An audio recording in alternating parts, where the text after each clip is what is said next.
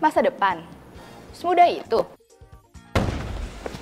Saya Safira dari Universitas Berjiwa Besar. Di final saat ini, saya siap memenangkan AJT untuk membawa pulang logam mulia.